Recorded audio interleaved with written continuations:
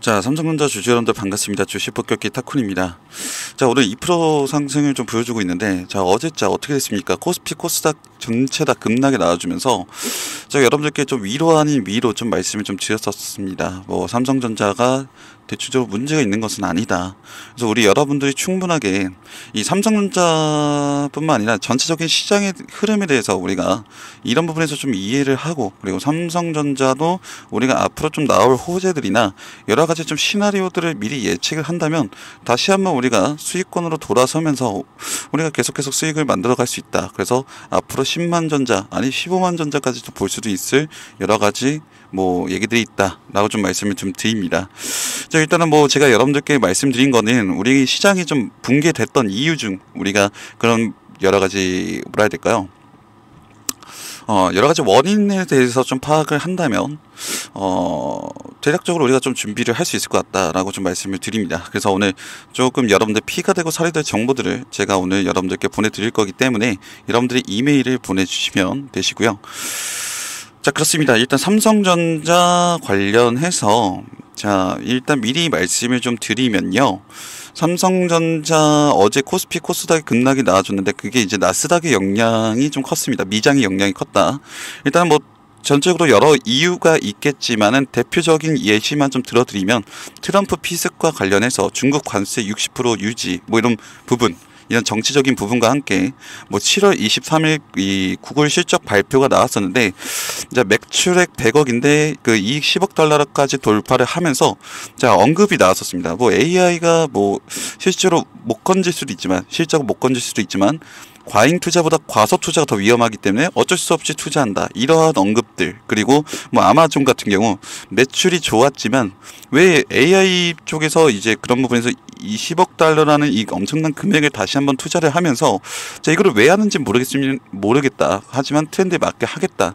이런 입장들 그리고 자 우리가 뭐 예를 들어서 뭐 AI 대표에서 엔비디아 쪽으로 우리가 좀 보면은 트럼프 직격탄을 맞고 그리고 뭐 일단은 AI 부분에서 지금 고평가됐다는 여러 가지 여론들 형성과 법적인 문제 이런 부분에서 계속해서 얘기가 나와주고 있다니까 전체적인 뭐 이슈는 결국엔 AI 고평가입니다.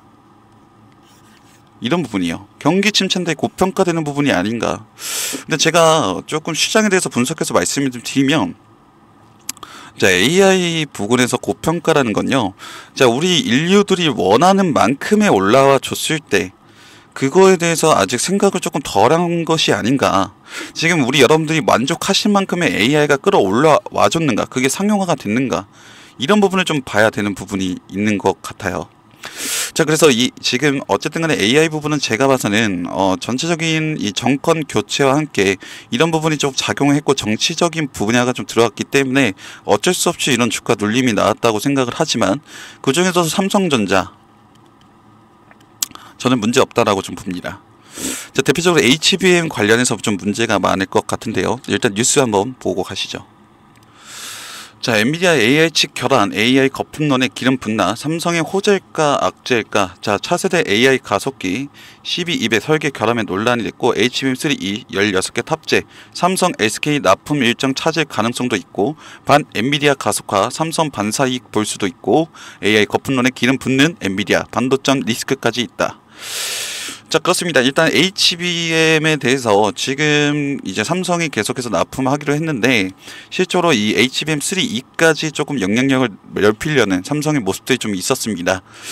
자 근데 이게 지금 보시면요 거품론 그러니까 고평가됐다 이런 부분들과 실질적으로 삼성전자가 되고 있는 거는 이런 부분이죠. 중국 규제 자, 미 마이크론, 삼성, SK 등 중국 HBM 공급 제한 검토. 그래서 이런 부분들에서 나와주고 있는데, 자, 저는 문제 없다고 봅니다. 이런 부분은 어차피 우리는 미장을 좀 노리기 위해서였고, 자, 이거는 우리 주식이나 선물이 어쨌든 근데 기대감 때문에 올라주는 건 맞거든요. 절대적인 건 거의 기대감 때문에 올라줍니다. 뭐 우리가 뭐 임상에 성공했다. 효과가 좋을 거란 기대감.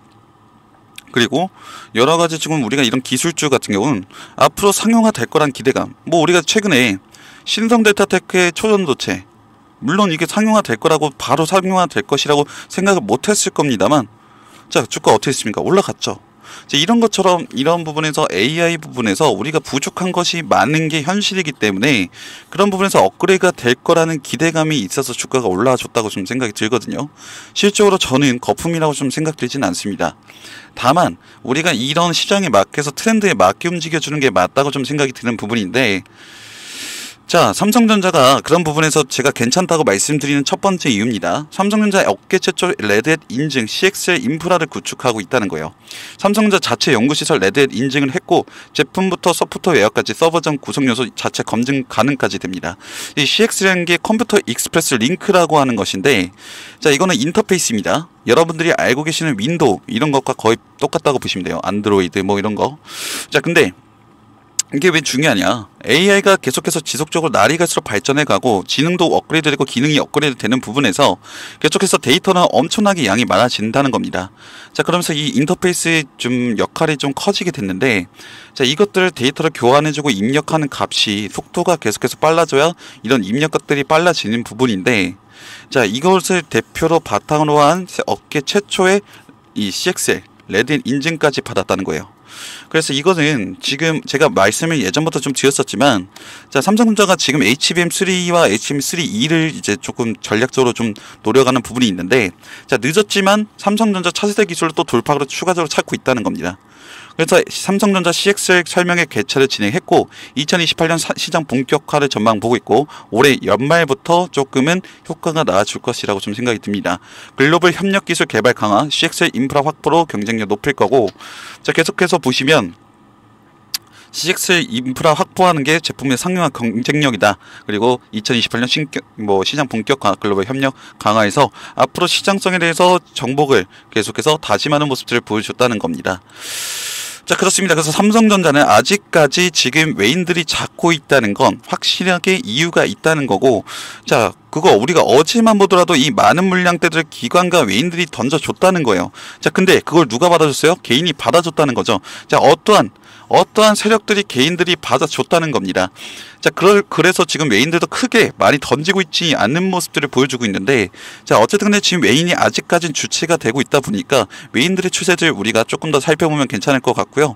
자, 오늘 제가 조금은 반등은 나와줄 거라고 좀 예상을 했는데, 결국엔 맞춰줬습니다. 자, 앞으로 우리가 내일 같은 경우는 조금 오히려 눌려줄 수 있을 가능성이 매우 높다는 겁니다. 그러면 우리 여러분들 어떻게 하셔야 됩니까? 지금이라도 대응을 하셔야 된다는 거 말씀을 드리는 거예요. 자, 그래서 제가 여러분들께 말씀드리는 건 삼성전자 같은 경우 무거운 주식은 우리가 이제 조금은 기다려야 되는 부분이 있다 보니까 이런 한 파동 자체가 한 달 이상 거의 길면 한 달 반 그 정도가 걸리다 보니까 제가 이런 부수 기재 종목들을 가져가자고 말씀을 드렸었고 YC 제가 HBM3 관련주로 여러분들께 추천을 드려서 28% 수익 만들어 드렸습니다. 자 지금 시장이 어쨌든 간에 다시 한번 트렌드가 들어와 오면서 이 반등을 쳐주면서 트렌드 이끌어줄 종목들이 다시 한번 자리를 잡고 있는 부분이 보여주는데요. 자 삼성전자 엔비디아 수주에 이어 제2의 YC 기자재 납품 계약을 맺었습니다. 자 HBM3 이 비중 높인다. 이것과 관련이 있는 종목이겠죠. 자, 그래서 이 8월 대장주라고 제가 좀 생각이 드는데 4,400원짜리가 지금 18,000원까지 보고 있습니다. 제2의 YC라고 좀 불리고 있고요. HBM3E, SSD 감, 관련 엠바우까지 입수를 해서 우리가 이런 종목들을 좀 잡아간다면 이 YC 같은 뭐 크다면 크고 낮다면 낮은 이 수익률을 여러분들이 좀 잡아가실 수 있을 기회가 올 거라고 좀 생각이 듭니다. 자 진짜는 진짜를 알아봐야 됩니다. 가족방 입장 도와드리고 있고요. 7월 1일부터 8월 6일까지 231% 누적 수익 만들어드리고 있습니다. 자 HLB 54% 우리 기술 48% 23% 휴림 로봇 22% 두산 에너빌리티 33% 삼성전자 23% YC 28%입니다. 자 그렇습니다. 어, 지금 휴인러버 같은 경우 하락세로 지금 16 마이너스 16%가 마이너스 18%까지 가고 있는데 자 이런 종목들이 정확히 타점만 노려가시면 된다고 제가 말씀드려서 이것까지 수익을 잡아드렸는데요. 자 오늘도 삼성전자 제가 다시 한번 말씀드리지만 이런 트렌드를 여러분들이 날짜 내용들 정확하게 알고만 대응하신다고 해도 수익 충분히 노려가실 수가 있다는 겁니다. 자 그러면서 여러 가지 추세들이나 제가 이때까지 쌓아왔던 경험치들 이런 것들을 여러분들께 매번 말씀드리지만 사실상 잘 적용되지 않는 게 현실입니다. 그래서 어쨌든 간에 우리 여러분들께서 현명한 판단을 하실 수 있도록 제가 항상 support를 하고 있으니까 이 원본 파일은 우리 여러분들 010-64나 8706 여러분들 이메일 보내주시면 됩니다. 자 그러면서 제가 오늘 말씀드릴 건 시장에 대해서 너무 과 어, 너무 과하게 올라간 것도 없지 않아 있지만 그냥 건강한 조정이라고 생각을 하자라고 말씀을 드렸어요. 자 어쨌든 간에 오늘도 나스닥이 좀 내려갔었습니다. 그럼에도 불구하고 코스피 코스닥이 지금 반등을 조금 보여주고 있었는데요. 자 그렇습니다. 어 어쨌든 간에 우리도 이번 기회로서 조금 우리가 반면교사 삼아서 다시 한번 우리 여러분들이 일어설 수 있는 그런 환경을 좀 만들어 드리고 싶습니다. 자, 그래서 우리 여러분들은 무조건적으로 대응을 하셔야 되며 제가 우리 여러분들 대응하실 수 있도록 제가 여러분들께 하나하나 천천히 설명을 다 드릴 것입니다. 그래서 우리 여러분들은 이런 것들 놓치지 마시고요. 지금이라도 여러분들 문자 주셔서, 주셔서 이런 자료들 받아가시고 제가 항상 말씀드리지만 이런 노하우들은 제가 여러분들께 1대1로 말씀드리는 게 제일 좋습니다. 하지만 이게 시간 관계고 우리가 환경상 그럴 수가 없다 보니까 제가 우리 여러분들께 제가 이때까지 쌓았던 경험치를 어떻게 하면 좀 드릴 수 있을까 고민을 정말 많이 해봤습니다. 그래서 제가 여러분들께 선물을 하나 준비를 했거든요. 우리 여러분들 이 선물 한번 받아가시면 어 그래도 어느 정도 수익을 좀 가져갈 수 있을 것 같은데 한번 들어보시죠. 2024년 이달 경제 부분 추천 도서입니다. 자, 이거 제가 출판한 책이고요. 현재 판매하고 있지도 않고 판매 목적으로 출판한 것도 아닙니다. 네이버 검색해도 나오지 않아요. 자, 세력주 연구소 성공 빅입니다. 자, 세력주 연구소의 수익 노하우. 지금 연구소에서 방송 중이신 각 전문가님들과 저와 함께 제가 이때까지 이 수익을 보면서 이 시장에 대한 이 실전 노하우들을 여러분들께 전수를 하려고 합니다. 제가 이거 저번에 그 출판을 하자마자 우리 여러분들께 100권 가량을 무료로 나눠 드렸었습니다. 자, 반응이 너무나도 좋았죠. 자, 그래서 지금 추가적으로 30권을 발주를 넣어 놓은 상태고 이 30권 자, 여러분들께 무료로 나눠 드리고 있습니다. 어떻게요? 노하우 자, 여러분들이 이것만 받아가셔도 솔직히 뭐 반은 이상 먹고 들어간다는 겁니다. 이건 그냥 뭐 제가 판매하는 것이라면 사기가 될 수도 있겠지만 판매하는 것이 아니기 때문에 제가 그만큼 자부를 하고 있기 때문에 여러분들께 말씀을 드리는 건데 자, 우리가 간단하게 생각하면 인생의 최고의 스승은 경험이다. 라는 얘기가 있듯이 자, 이 경험 제가 이때까지 프로트레이더도 했고 제가 여러 가지 뭐 펀드 매니저도 하면서 이때까지 제가 있었던 경험들을 싹 다 집약을 해놔서 제가 가지고 있던 여러 노하우들을 여러분들께 담아 드렸습니다. 자 여러분들 시간만 남으신다면요 이런 거 한 번씩 보시더라도 정말 큰 도움이 되실 거라고 생각이 드는데요. 자 선택은 우리 여러분들이 있습니다. 우리 여러분들께서 어떻게 하실지 정말 뭐 나중에 우리 여러분들 선택이 있으시지만 그런 선택이 있어서 충분히 여러분들을 서포트해 줄 수 있는 정보들을 가지고 있다라고 말씀을 다시 한번 드리면서 자 오늘 바쁘시더라도 노하우 다시 한번 보내주세요. 자 010-641-8706 노하우 개인분들께 한 명당 한 권씩만 제공해 드리고 있고 특히 우리 구독자분들 먼저 드리고 있습니다.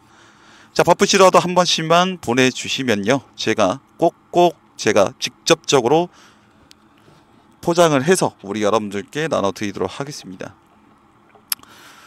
자, 그렇습니다. 어, 어쨌든 간에 이런 노하우들을 우리 여러분들께 나눠드리는 것이야말로 그런 게 우리가 뭐 여러 가지 좋은 시너지를 여러분들께 나눠 드린 것 같기도 하고 실질적으로 그런 효과들이 나와주고 있다 보니까 우리 여러분들께 이렇게 선물을 드리면 되겠다라고 제가 판단이 들어서 이런 컨텐츠를 제작하게 되었습니다. 자 그렇습니다. 우리 여러분들 제가 언제나 옆에서 함께 하도록 하겠습니다. 여러분들 소신껏 투자하는 것에서 제가 투자를 정말 냉정하게 하실 수 있게끔 제가 미래를 볼 수 있는 눈을 길러드리도록 하겠습니다. 자, 이상 주식 폭격기였습니다. 감사합니다.